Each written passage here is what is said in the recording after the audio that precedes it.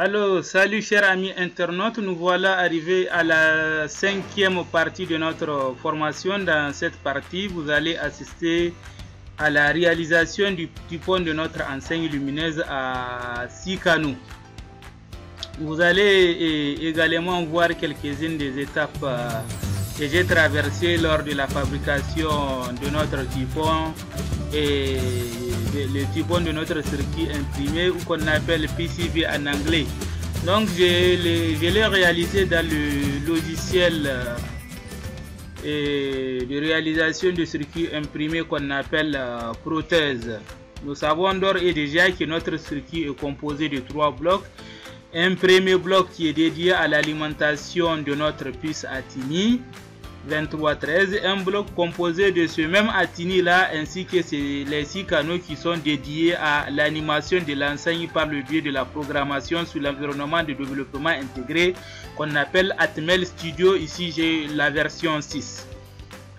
Et nous avons aussi une troisième partie au niveau de, de, ce circuit général. Au niveau de ce schéma général, nous avons la partie ISP, un système programme qui permet de charger le fichier HEX généré à partir de Atmel Studio. Nous allons y revenir donc euh, sur la question de l'ISP dans une prochaine vidéo. Nous allons pouvoir l'expliquer en détail pour que vous parveniez à injecter votre code dans le, au sein de la mémoire du microcontrôleur. C'est-à-dire, euh, quand on parle de l'ISP, c'est-à-dire c'est la technique qui permet de charger le code dans la mémoire du microcontrôleur. Pour réaliser cette action, nous aurons besoin d'un schéma et d'un programme qu'on appelle AVR ISP MK2. C'est ce que j'ai commandé en ligne au niveau du site euh, AliExpress. Dans tous les cas, je, sais, je vous ai dit que chaque fois qu'il y a des composants à utiliser euh, au niveau de la vidéo, donc je vais essayer de vous mettre les, liens des composants que j'ai déjà cités en partie et, description de la vidéo. Après la réalisation du schéma sous prothèse, on peut se passer à la réalisation du circuit imprimé. Ceux qui n'auront pas la possibilité d'utiliser prothèse peuvent le faire sur plaque perforée. Cependant, même si vous n'avez pas le tout fond, vous avez toujours la possibilité de faire la demande en laissant votre email dans la partie commentaire de la vidéo. Mais il faut que vous soyez un abonné de la chaîne. Donc avant d'effectuer toute demande, il faut vous abonner. Merci chers amis de nous avoir suivis dans cette formation. Dans la prochaine vidéo, nous allons voir comment imprimer le typon et faire le transfert sur la plaque de cuivre par la méthode dite donc de transfert à chaud. Nous verrons également les étapes de la réalisation définitive du circuit imprimé. Comme toujours, je vous invite à vous abonner, chers youtubeurs, et cela nous motive à, motive à faire beaucoup de contenu de ce genre. Partager et aimer la vidéo si celle-ci vous a plu. Si vous avez des questions, des suggestions ou autres commentaires, vous pouvez le poster en partie commentaire de la vidéo. Nous vous invitons également, euh, nous invitons également les bonnes volontés à nous appuyer euh, financièrement par le biais de notre bouton PayPal qui est dans la partie description car ce type de contenu que nous mettons gratuitement en ligne exige de défense financière non négligeable. Les liens de tous les composants du projet se trouvent également en partie description l'ai dit tantôt au début. D'ici là, portez-vous bien. Merci à la prochaine vidéo.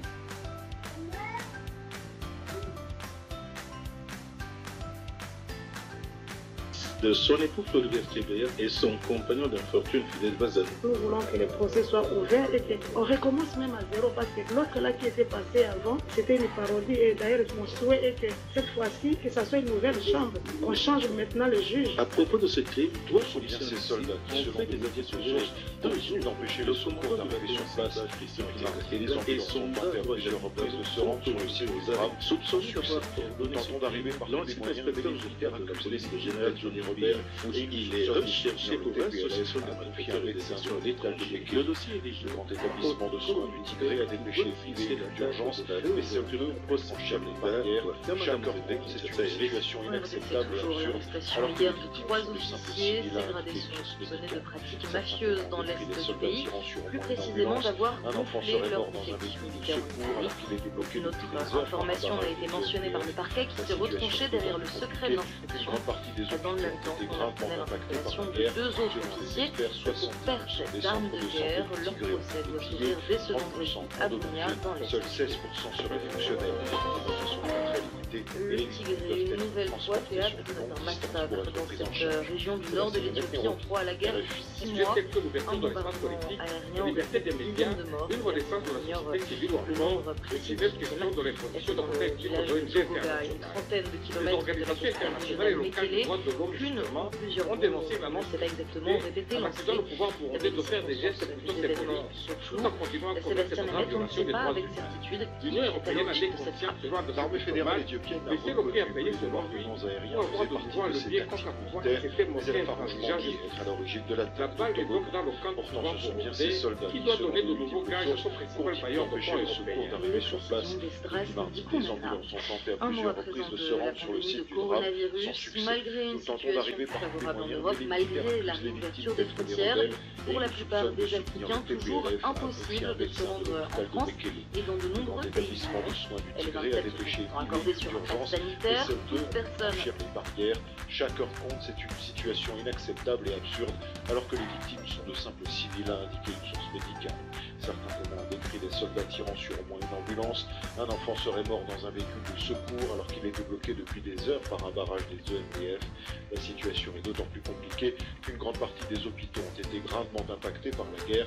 Selon les experts, 70% des centres de santé du Tigré ont été pillés, 30% endommagés, seuls 16% seraient fonctionnels. Les moyens sont donc très limités et les victimes doivent être transportées sur de longues distances pour être prises en charge. Sébastien Nemeth, Nairobi. Et après ce bombardement, plusieurs réactions à l'international. Les États-Unis ont condamné fermement la frappe. Quant à l'Union européenne, elle s'est dite très préoccupée, dénonçant une opération qui s'ajoute, je cite, aux violations horribles des droits de l'homme combinées aux sérieuses allégations d'utilisation de la famine et des violences sexuelles comme armes de guerre. Fin de citation. Le sujet devrait être abordé par Bruxelles au prochain sommet des ministres des Affaires étrangères de l'Union, prévu au mois de juillet. L'armée va-t-elle faire peau neuve au Soudan? C'est en tout cas le vœu du Premier ministre de transition Abdallah Hamdok. Face à l'instabilité qui règne aussi bien dans le pays que dans la région, le chef du gouvernement souhaite que les forces politiques et militaires au pouvoir depuis la chute d'Omar el-Béchir en 2019 s'unissent pour réduire les tensions qui lézardent le pays et qui représentent selon lui un grave danger pour l'existence du Soudan. Le ministre a notamment lancé un ambitieux plan de refonte de l'armée. Le détail avec Léonard. Pour le célèbre militant Abjed Farid, qui fut son conseiller, l'initiative d'Abdallah Hamdok n'est rien moins qu'une alternative au coup d'État militaire, tant les périls sont importants. Face aux antagonismes et au mécontentement croissant, le chef du gouvernement a d'abord annoncé un programme de rencontres avec les dirigeants de l'autorité de transition, les forces politiques des civils et les forces de la révolution de décembre. Sa priorité est la réforme du secteur sécuritaire et militaire, a-t-il dit, avec l'unification de toutes les forces armées, y compris des forces de soutien rapide du général Emeti, la remise en cause de l'emprise des forces armées sur des secteurs de l'économie et l'élaboration d'une nouvelle doctrine avec le pouvoir civil. Ensuite, Amdok a annoncé la création d'un comité national pour rendre justice aux victimes de la répression de l'Ancien Régime et de la Révolution, et de faire en sorte que la vérité des faits soit dite publiquement. Il a également donné un mois aux forces politiques pour enfin mettre en place le Parlement sans cesse repoussé. Bref, Abdallah Hamdok se veut rassembleur. Pour l'analyste américaine Lorraine Blanchard, le Premier ministre pourrait avoir donné là le discours le plus important de sa carrière. Léonard. Les pays d'Afrique australe au secours du Mozambique. Hier à Maputo, les différents États de la sous-région ont annoncé l'envoi prochain de troupes pour appuyer l'armée mozambicaine dans sa lutte contre le terrorisme. Cette annonce est intervenue alors qu'au même moment, des affrontements étaient en cours entre djihadistes et troupes nationales près d'une usine à gaz du district de Palma dans le nord. Cela fait trois ans que les terroristes multiplient les attaques dans la région. À fin mars, plusieurs groupes avaient lancé des attaques coordonnées contre Palma, faisant des dizaines de morts et poussant à l'exil des milliers d'habitants. Discussion au sommet ce jeudi au Burundi. Les négociations doivent reprendre à Bujumbura entre le chef de la diplomatie Albert Shingiro et l'ambassadeur de l'Union européenne Claude Gauchu, accompagné de ses collègues des 27. Le but de ces négociations est de parvenir à la levée des sanctions contre Gitega. Elles sont en place depuis 2016, date à laquelle une intense crise politique a éclaté lorsque feu le président Pierre Nkurunziza a brigué un troisième mandat. Les discussions n'ont repris qu'il y a quelques mois dans le sillage de l'accession au pouvoir d'Evariste Ndayishimiye. Et Zraf Ndikumana, l'Union européenne a beau reconnaître des avancées, elle attend plus d'efforts de la part de Gitega. Objectif affiché pour ce nouveau round de négociations, tenter de conclure le plus rapidement possible un dialogue politique qui a repris à peine près de six mois, mais qui a déjà franchi une première étape avec la décision des groupes d'experts de Bruxelles de lancer le processus qui va conduire à terme à une levée des sanctions budgétaires contre le gouvernement burundais. C'est un pas important qui a été franchi grâce à des évolutions positives qui ont été initiées par le président Évariste Ndayishimiye en termes de bonne gouvernance, d'état de droit et des droits de l'homme s'est réjoui l'ambassadeur européen Claude Brochu lundi, juste après lui avoir annoncé la bonne nouvelle. Mais il prévient depuis l'étape nécessaire qui vient d'être franchie n'est pas suffisante avant de rappeler que d'autres progrès sont espérés au cours des prochains mois. Gitega est donc attendu sur des sujets tels que l'ouverture de l'espace politique, la liberté des médias, une renaissance de la société civile ou encore l'épineuse question de l'imposition de ethniques aux ONG internationales. Les organisations internationales et locales des droits de l'homme, justement, ont dénoncé une annonce précipitée en accusant le pouvoir burundais de faire des gestes plutôt symboliques tout en continuant à commettre de graves violations des droits humains. L'Union européenne en est consciente, selon un de ses diplomates, mais c'est le prix à payer, selon lui, pour avoir de nouveau un levier contre un pouvoir qui s'était montré intransigeant jusqu'ici. La balle est donc dans le camp du pouvoir burundais, qui doit donner de nouveaux gages à son principal bailleur de fonds européen. Les précisions de Stras Ndikumana. Un mot à présent de la pandémie de coronavirus. Malgré une situation plus favorable en Europe, malgré la réouverture des frontières, pour la plupart des Africains, toujours impossible de se rendre en France et dans de nombreux pays de l'Union. Les 27 se sont pourtant accordés sur un pass sanitaire. Toute personne entièrement vaccinée n'a qu'à fournir un test PCR négatif de moins de 72 heures pour circuler librement. Et oui, mais voilà, encore faut-il disposer d'un sérum reconnu par l'Agence européenne du médicament. Or, le vaccin majoritairement distribué en Afrique, le Covishield, produit en Inde par AstraZeneca, n'est pas homologué. Pourtant, son jumeau, le vaccin Zevria, produit par le laboratoire suédo-britannique en Europe, est lui reconnu. Conséquence de cette annonce, Jeanne Richard, indignation et surtout inquiétude au sein de la population. L'annonce relayée par les ambassades françaises a semé le trouble dans la plupart des pays francophones, mais c'est à Madagascar que la polémique a pris le plus d'ampleur, comme en témoigne Emeratine Bazar, vice-présidente du KMF Noé, une association de la société civile malgache. Lors de la réception des doses destinées à Madagascar, il y avait eu des représentants de l'Union européenne pour inciter et pour encourager à se faire vacciner des vilains. Tout d'un coup, c'est pas reconnu par les autorités sanitaires européennes. Alors ensuite, oui, bon nombre de gens se demandent si ce vaccin est vraiment valable et peut vraiment protéger les gens. Depuis, l'OMS déploie tous ses efforts pour rassurer l'opinion publique.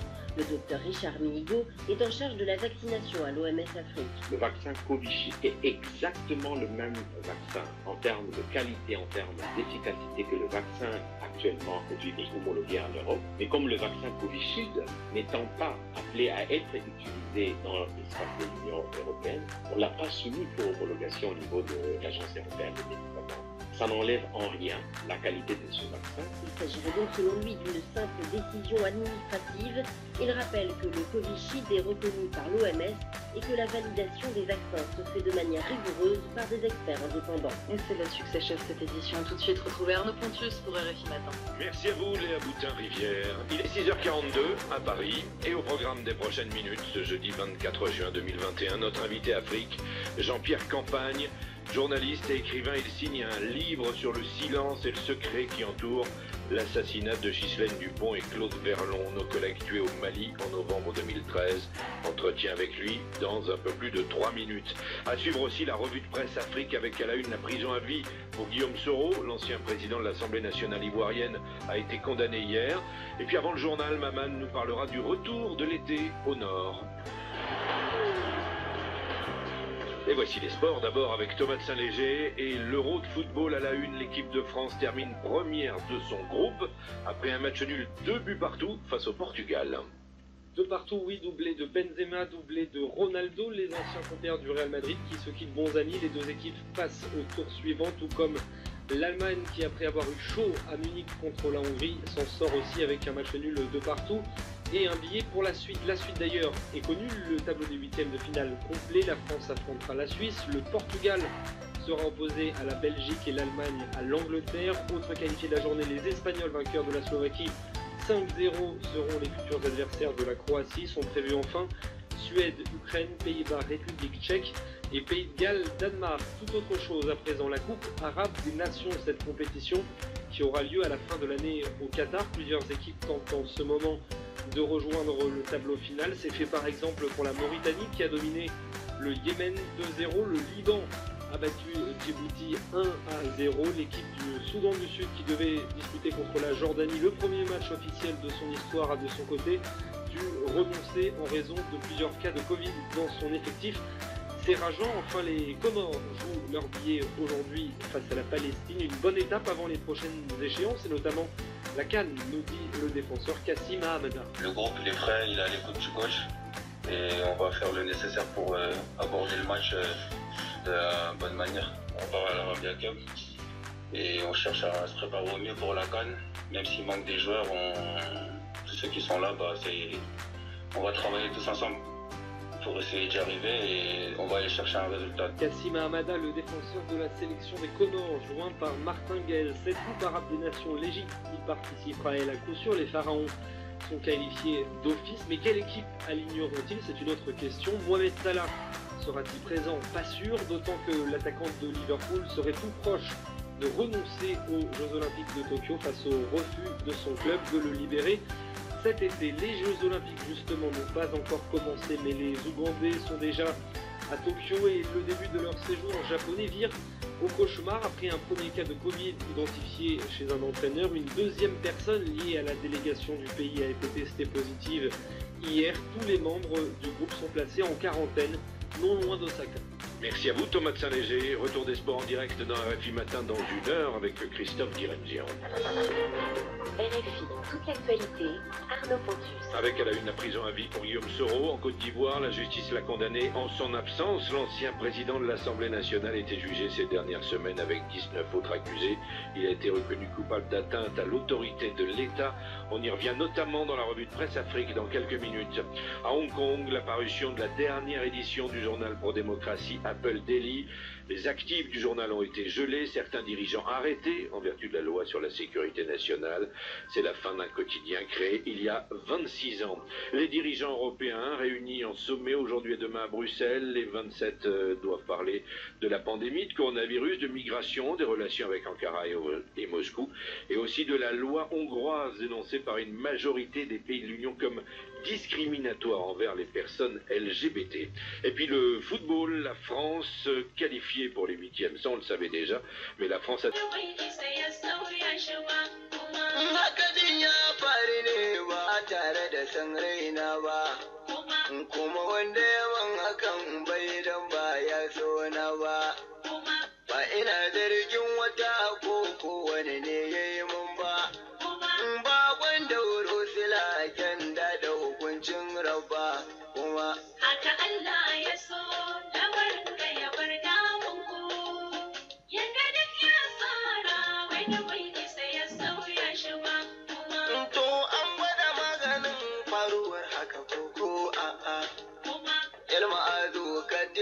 da uwa da uba na raye. To kuma ka san tausayi da irin santa na iyaye. Sai dai yin an gwada an gwada ba a yi sa'a ba. Mana asibitin ido na kano duka an je nema. Bayan wasu kankana da aka shiga kan in girma. Har na gargajiya maganin duka an sha fama. Daga ƙarshe dai na ce kun baiwa iyawar rafa kuma. Haka Allah ya so lamarin ya bar damun ku yadda duk ya tsara wani bai isa ya sauya shi ba kuma. Iya kake jiran ka tun da ka rasa idanun kallo. Yanzu ko da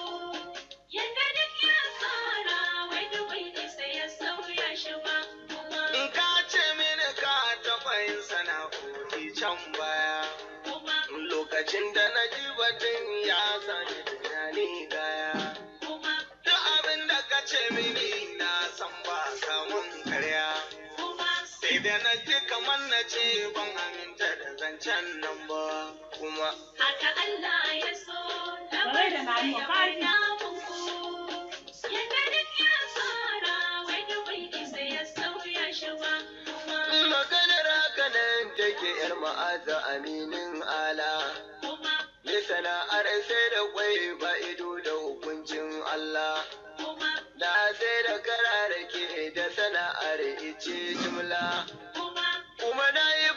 furobishin duka ba da idan kallo ba. Kuma sannan ne bara yar ma'azi ina shaida ma. Magana haka nan take yar ma'azo ka san nema ita ce ta zamo sala na shigowa ta birni ma. To daga baya na san bara ba sana'ar ce san ba. Kuma? Haka Allah ya so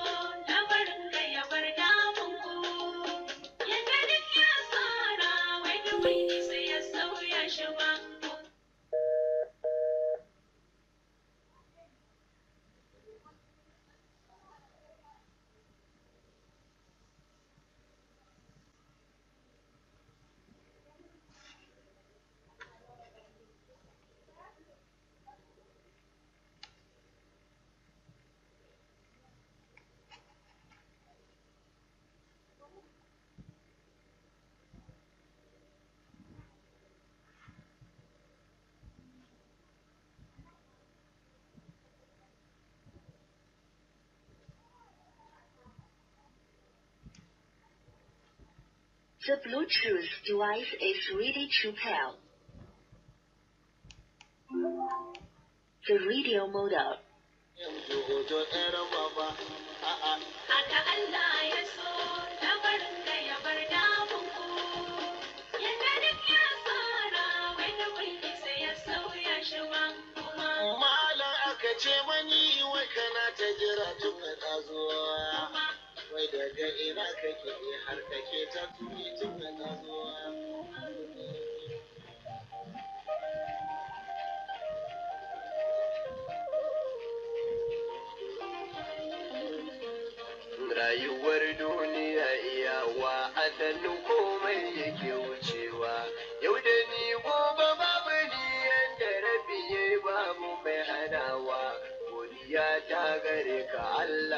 bani sanda a shugabana.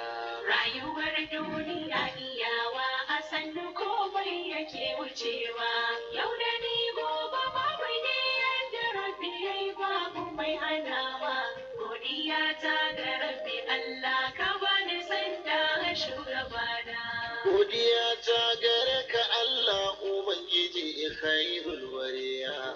masanin asarari da kuriya babu abun da gare ya koya. Mai abun kyauta da jin kai ubangijin ba'awa maraya.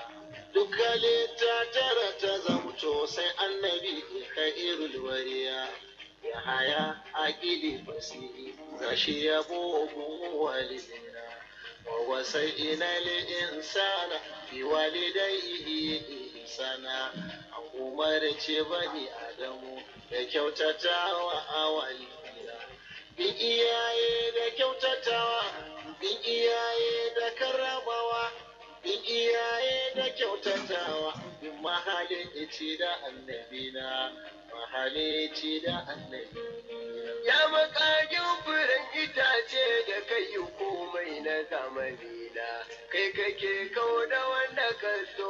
Ƙyale wanda ka so ya kwana. Tafi kai kai mujiyan nan da ba ta yawon da inda rana.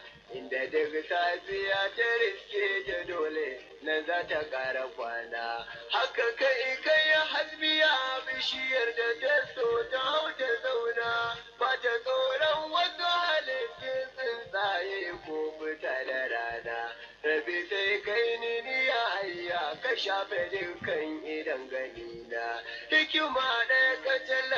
ban ta zama tamkar gwadon rufana.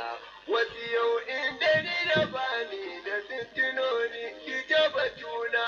Godiya ne marar iyaka gare ka jagoran lamurana. Rayuwar duniya iyawa Rabbi karo dubin salati ga Mustapha katumin nabina wanda kai ka kira da lilmumini na ra'ubin rahim a baina. Baka kaki kamar shi can baya ba ba za ka yi ba ko gabana. Rabi bayan mida milu uwa ka haɗa na aka da na shi suna. Shaban zaune ko a kwance ko a tsaye asali sanina.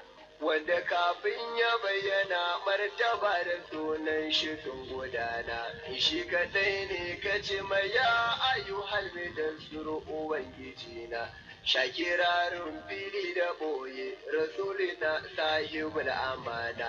Banda kaiwa ya kai makuriyar gurin biyayya ga kalikina kai kadai aka ce mai ya ayu annabi a qur'ana. Rayuwar duniya iyawa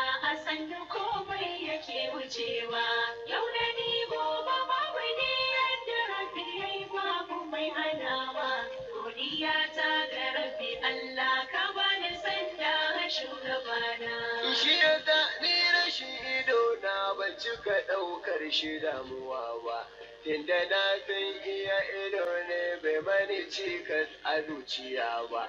Tunda na san wasu ababen ba zan yi umba mataimaki ba. Kuma bawa ko fitila ne da ba zai ki taimako ba. Ko zuwa na kaduna farko ba wai da jagora na shigo ba. Hakanan sanda zani yau ko ba wani ya ja da guduwa ba. Da akwai wani mara ido ne abin da za ya yi ba zan iya ba. Haka ni ma abin da za ni wani na nan ba zai iya ba. Arziki ɗaukaka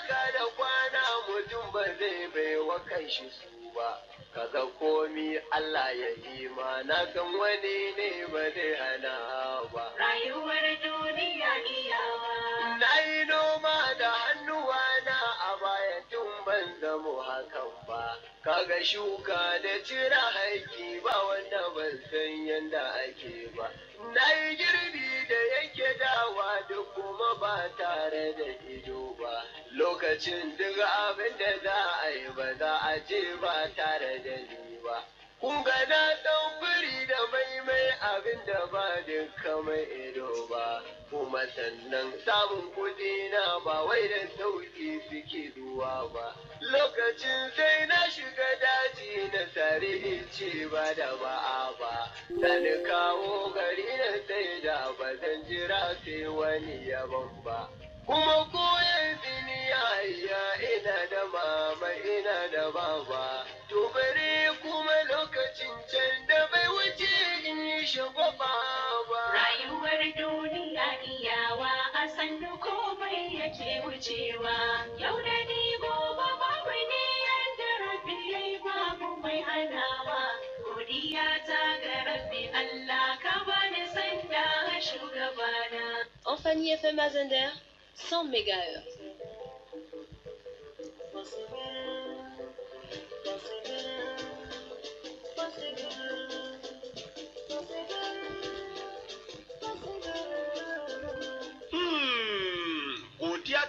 Tabbata ga Allah da ya kaddara isawar sabuwar shinkafar etablissement Fasbir 3 étoiles mai taken shinkafa kaza. Shi ke nan kuwa mun yi bankwana da yin amfani da tarin nau'ikan shinkafar nan da ba sa biyan buƙata balle gamsar da iyali. Domin ga 'yar ƙwarai kuma mai inganci ta sallama wa birnin da magaram. ita ce shinkafa fasbir sabuwar oda da etablissement fasbir 3 étoiles yayi domin faranta wa al'umma. Tafshi silbi gardi afki kanshi da kuma da fuwawar wasu a tukunya. Kaɗan ne daga cikin shika-shikan darajar shinkafa fasbir. Shinkafa fasbir mai taken shinkafa kaza. A yi amfani da ke domin wadata iyali da kuma tabbatar da lafiyarsu. sannan shinkafa fasbir ita ce kaɗai shinkafar fita kumya a Ah, ranar sallah san tallace ai bata da wata za ku dace da wannan shinkafa samfari iri-iri kamar long grain, parfume, risa wudiyan maza diabetic cin kowa har da masu cutar siga da kuma sauran shinkafa dangin basmati a buhu ɗan kilo biyar, ɗan kilo goma, ɗan kilo ashirin da biyar da kuma ɗan kilo arba'in a farashi mai kyau. Banda zaɓen tumun dare, ku buɗe ido, ku tabbatar da kun sayi shinkafa fasibir da ke cikin bahun garara, shi ma a cikin leda, mai ba da kariya ga iska, ƙura ko kuma ƙwari, abin da ke ƙara tabbatar da ingancin wannan shinkafa. Domin saye ko kuma sari, an muku tanadin adadi mai yawa. Maza ku ruga etablissement Fasbir 3 étoiles da ke anguwar dispensaire bisa hanyar kasuwar dole mai zuwa kwanar rahama. Ko kuma a shagunan sayar da kayan abinci na cikin kasuwar dole da birnin da magaram. Ku tuntuɓi etablissement Fasbir a 97